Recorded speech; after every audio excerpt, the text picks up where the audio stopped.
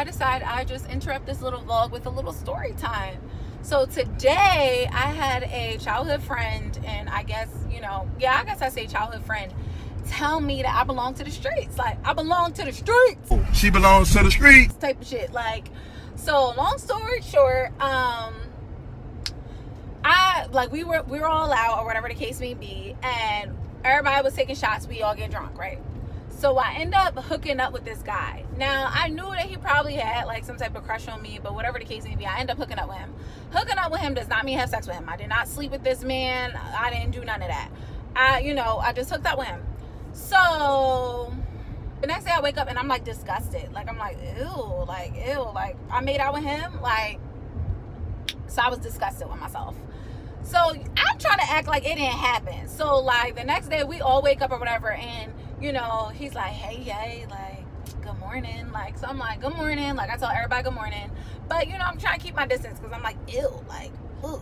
So, anyways, um, so, anyways, he's all like, come here. Like, yo, like, come here. So I'm like, no, like, I'm about to go get dressed. Like, I'm about to, you know, get ready because we was all going out. Like, we was all about to go get something to eat, whatever the case may be. So I just let that slide. Like, and for the rest of the day, because like we only had like one more day left because we were all staying in the same place. So for the rest of the day, I just kind of like was like avoiding him because I'm like, I don't want you to think that this is something that's not. Long story short, we all go home and then um, he hits me up like a few days later. Like I didn't act different. Like I wasn't trying to like play him out, nothing like that. Like when he left, I was like, let me know when y'all get home safe. Like I do with all my friends. Like I just was like, ugh, ugh, you know. So I was keeping my distance for a little bit, so I got over the fact that that happened. So um, you know, I was talking to him in between. Like we were talking about stuff, and um, long story short, like he ends up hitting me up and mind you, he he's telling everybody, oh, he was so drunk because he was wilding. So like he was wilding that night. He's telling everybody, oh, I was so drunk, I don't remember. I don't remember what happened. So I'm like, well, maybe just maybe he don't remember. Like we hooked up. So he ends up hitting me up. He's like, hey, I just want to apologize about what happened the other night. Like I didn't, you know, mean to like offend you in any type of way. And I guess my cousin told him that he hit me, but he didn't put his hands on me because my guy cousins don't play that. Like it would have been paws laid on you immediately. Like they don't play that. And one of my guy cousins was there. Like so, I'm like, oh, believe me when I tell you, you did not put your hands on me. Like my cousins don't play that. So um, especially not with them there. They really don't play that. But you know, I just was like, you know what, it happened. Um, you know, I'm trying just not to think about it and I just told him, I was like, listen, I just want to be upfront and honest with you. Like, this isn't going to go anywhere. I don't want you to think that, like, we're going to, like, be something or this is going to be anything because it's not. Like, I don't like you like that. Like, I was drunk and it really honestly should have never happened. Thank God nothing happened and it went any further. Like, it was just a dub for the night. And, like, I was just like, you know what? Like, we're still going to be friends, but I just want you to know, like, we're not going to progress in any way, that way, shape, or form.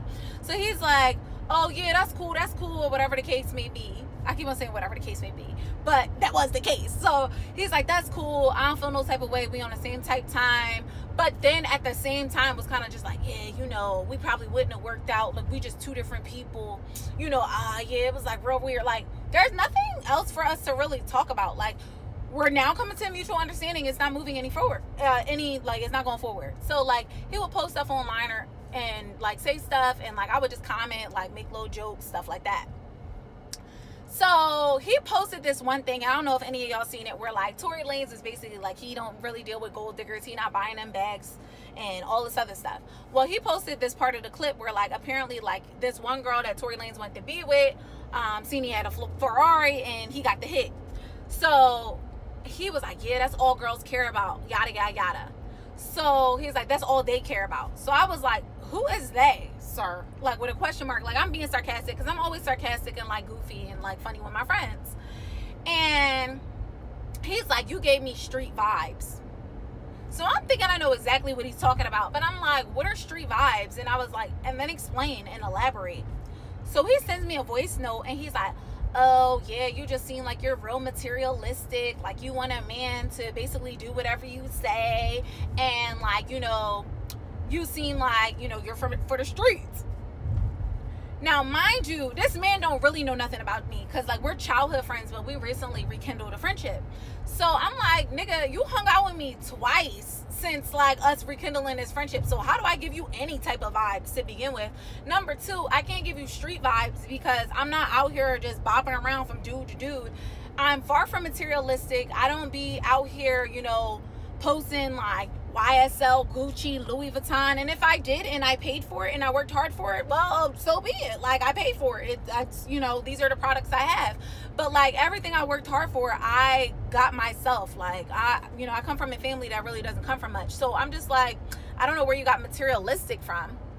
And I'm just like, okay. So I'm like, all right, like Bull's trying to come at me. He's like, you don't have to agree with it, but like, you know, that's just the way I feel. And I was like, no, I just feel like honestly, truly, like you're mad. You're big mad that I told you that I didn't want to be with you. Like you're a big mad that I said that this was not that.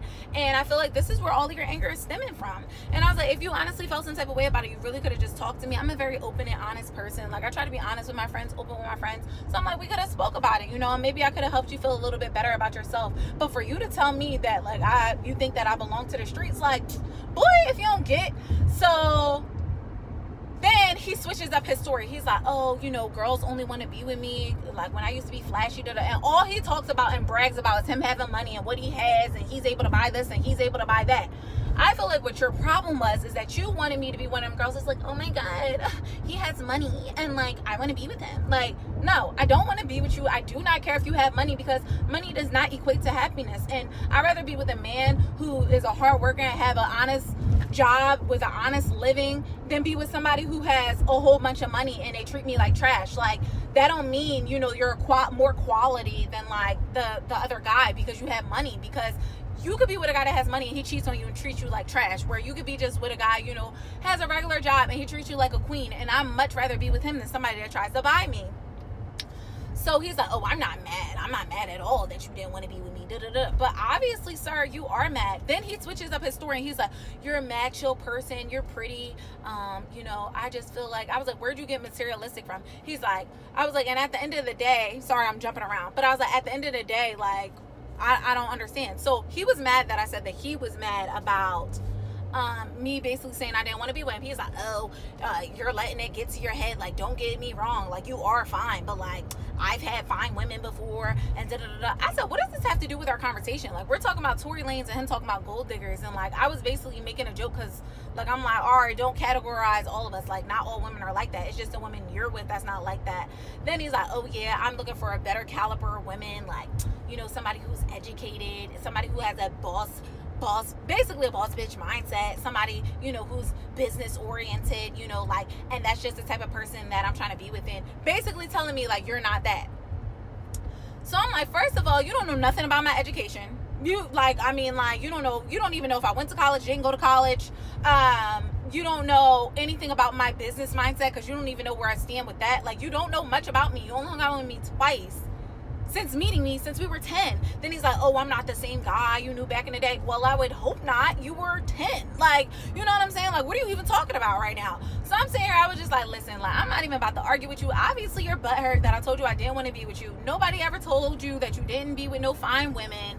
I'm not about to go back and forth with you. There's beautiful women everywhere. I would hope that you were with a beautiful woman at some point in time. But I was just like, this had nothing to do with our conversation. Like, you're going into women this and women that and flashy. Like, not one time have you ever flashed or talked about money and I was like, oh yeah, let me be with him. Like, boy, get like at the end of the day, you're just mad that I didn't want to be with you and like just own that. Like, don't try to bring me down and talk about some I want somebody that's different caliber. Like, meanwhile, you're dating girls who are stealing your chain. So like if you're talking about that your caliber of woman, then you're absolutely right. I'm not your caliber of woman. Like you talk about broke women, women with business mindset, but the girls you be falling in love with is stealing your chains. Okay, like I was just saying, I'm like, yo, you're a really big mad right now, and that's fine. But honestly, don't try to like bring somebody else down because you're feeling some type of way because you're switching your story. First, I'm cool, I'm chill. No, no, first, I'm, you know, for the streets. Now I'm cool, I'm chill. It's not even like that.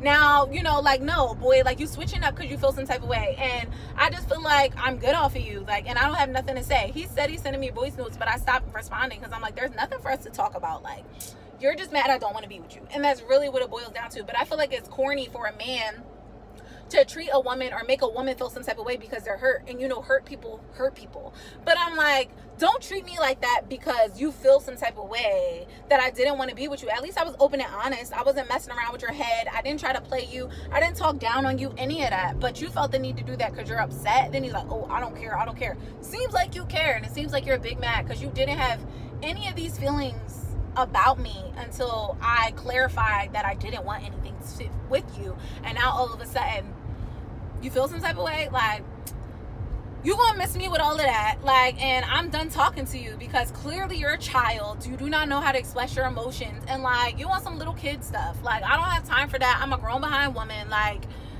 miss me. So I just, you know. I just thought that I would throw that out there because I'm just like, yo, like this boy really tried to come at me and then gonna try to like tell me what I am and what I'm not. Like he knows anything about me. Thank God I love myself and I don't need validation from a man to tell me who I am. But I'm just like the simple fact that you really tried to throw shade. Like I was supposed to be like, oh, like explain myself to you. I don't have to explain nothing to you. And it's obvious you're just upset that I don't want to be with you. But that's fine that's fine. Like, that's fine. Just own that. Don't try to bring down somebody else because I never brought you down and I never threw your name in the mud or ever spoke bad about you. So it's like, why are you trying to do that? Because you're mad that I called you out on something that, like, I guess you thought I wasn't going to? I'm sorry, but you got me effed up. I'm in the hood. I'm making a quick stop to the liquor store because I just feel like you can't pull up to somebody's event without bringing something, even though, just drop my keys even though she said I didn't have to bring anything, I just feel like it's ghetto. So I'm gonna just grab like a couple wine coolers or something like that for us to have. I got Twisted Teas. I really got stuff that I'm gonna drink, and I love, love, love, love, love Angry Orchards. So I got those. I would have recorded um, in the store, but if y'all ever been to a hood spot, it ain't that much room. They got liquor behind the counter, behind the people. I to have them people all up in the camera, like looking at me like, what are you doing? Like, so yeah. I just showed y'all what I got. Now I'm finally on my way to Siani House, which is around the corner from the liquor store I'm at because I had picked the liquor store that was literally right by her house. So I wasn't too late because I'm already like two hours late now. Trash.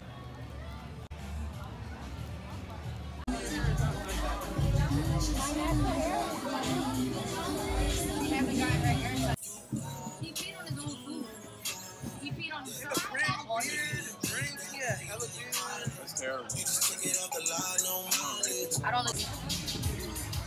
I mean, I mean, I mean, I have to take shots, y'all. Got the Hennessy in the cup. We got the Red Bull. Wait, glasses. Lorenzo? tapping glasses. We tapping You don't know where he is. I gotta tap yours. tap everybody. All right, y'all. Right. Ooh.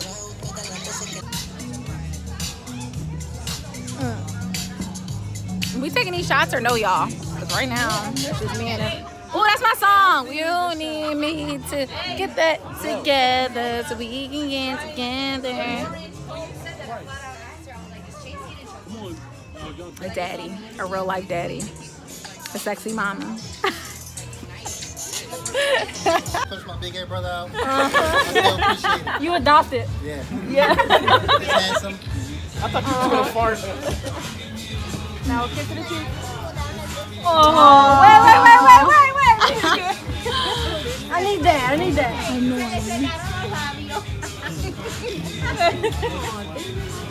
Hey. But I just don't know the song. Time out, time out. Toddy and J Lo. Good love. They left. They did. What's new? Sorry, but just that doing. So, so remember that. No, no, no, no.